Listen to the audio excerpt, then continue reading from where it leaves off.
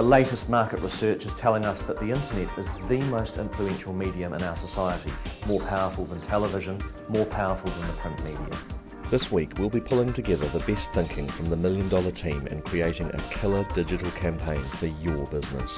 The weekly workshop is already live, plus, we're releasing literally dozens of shows from the team and other featured experts showing you how to get it done. Social networks now allow you to do everything you want to do online, so allow you to keep in contact with friends, allow you to share photos, they allow you to look at other sort, kinds of content from external websites. So people are spending less time on sites outside of this. So you kind of have to take the message to where people are going to be, which is within inside social media, rather than, you know, build a brand website and expect them to come. It's about taking your content to them. This is growing at such a phenomenal rate. If you decide, I'm not going to do it, you're making a massive decision to be outside of a massive marketing engine that uh, is going to change the way that businesses are marketed.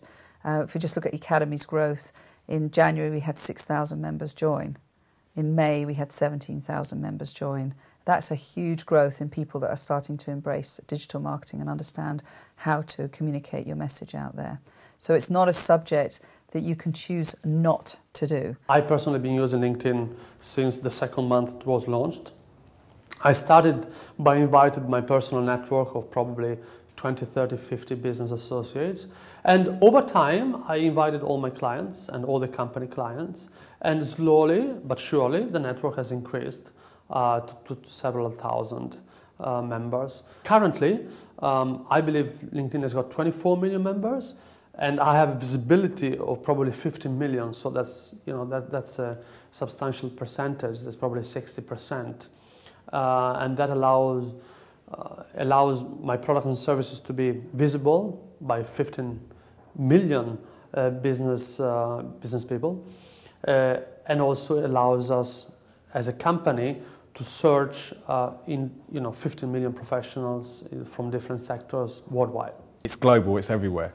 There is, I mean, the big services we're all familiar with, that sort of day-to-day names, things like YouTube, Facebook, MySpace have all come out of the US, but there is social media and social media services in every single country and are being developed at a local level, regional, global, you know, they're everywhere. Everyone's using them. No surprise then that marketing departments the world over are falling over themselves to get involved with social networks, but with mixed results. That's because marketing through social networks is a very different proposition to the old style interruption marketing that we're used to. There's some great examples and there's some not so great examples about how to use it, but I think people are really are still learning. I mean, there are so many ways you can work with social networks, but increasingly there's, you know, it's not just about advertising, it's about having a presence in the places where consumers interact.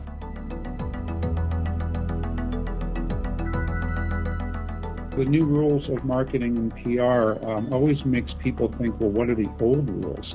And the old rules are really simple. In an offline world before the internet, you only have two choices to get yourself noticed. You either have to buy your way in with expensive advertising or you have to beg your way in with the media.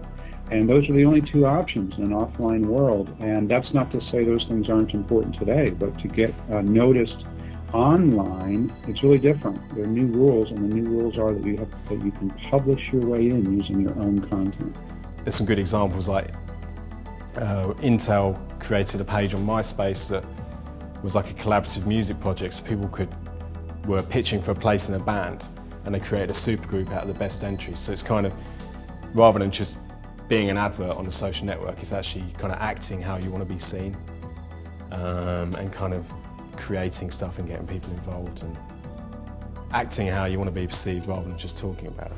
As a company, at eOffice we have used search engines since 2002. We have a very successful uh, pay-per-click campaign. We then started to create our own community um, called myeoffice.net uh, among all our members.